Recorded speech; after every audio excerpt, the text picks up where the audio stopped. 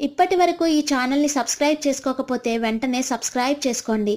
అలాగే latest updates miss కాకుండా ఉండాలంటే పక్కనే ఉన్న బెల్ సింబల్ని ఆన్ చేసుకోండి. అయ్యప్ప మాల ధారణ ఎంతటి కఠోర నియమ నిష్టలతో కూడుకుని ఉంటుందో అందరికీ తెలుసు.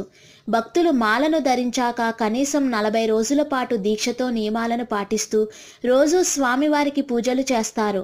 అనంతరం శబరిమల వెళ్ళి స్వామివారి దర్శనం అయ్యాక మాలను తీసేస్తారు.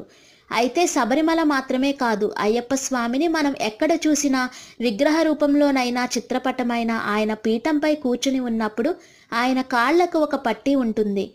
అయితే ఆ పట్టీ ఎందుకు వచ్చిందో అయ్యప్ప స్వామి ఆ పట్టీని ఎందుకు ధరిస్తాడో మీకు తెలుసా? అదే ఇప్పుడు తెలుసుకుందాం.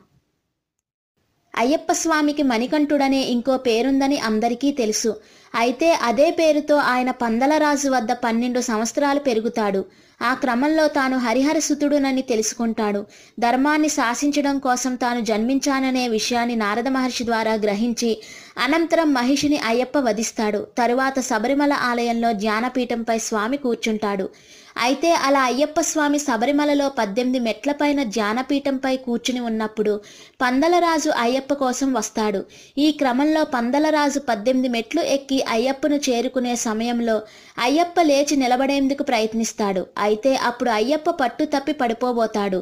దీంతో పందలరాజు అది చూసి తన వద్ద ఉన్న పట్టుపట్టీని స్వామివారి కాళ్ళకు కడతాడు.